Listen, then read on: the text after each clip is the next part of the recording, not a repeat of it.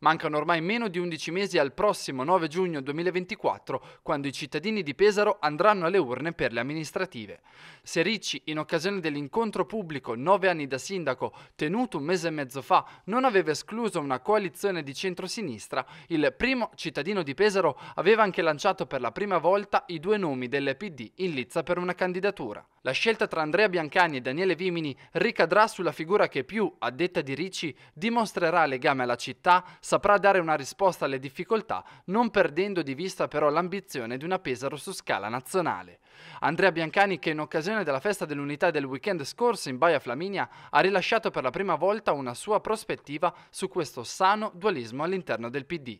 Ovviamente io sono tra le persone che sono state dire, individuate, coinvolte questa, per eh, la corsa alla, alla, alle elezioni del 9 di giugno del prossimo anno, tra i possibili candidati a sindaco. Devo dire che ancora è prematuro, anche perché manca poco meno di un anno, non si possono fare campagne elettorali così lunghe, anche perché ognuno di noi ha il proprio ruolo, si deve occupare di quello per cui stato, viene pagato per, per, per fare, quindi io penso che sia prematuro. Noi per quanto riguarda il centro-sinistra dovremmo trovare un candidato candidato che sia un candidato che cerca di unire le forze del centro-sinistra, quindi occorrerà condividere non solo all'interno del Partito Democratico ma anche con le altre forze, tutte le forze che vorranno far, vorranno far parte di questa coalizione. Ovviamente il Partito Democratico sarà e dovrà essere il partito che tira, come si dice, però dovremo fare un, dire, un confronto aperto all'interno del Partito Democratico cercando di individuare quella figura che possa, dire, essere, che possa,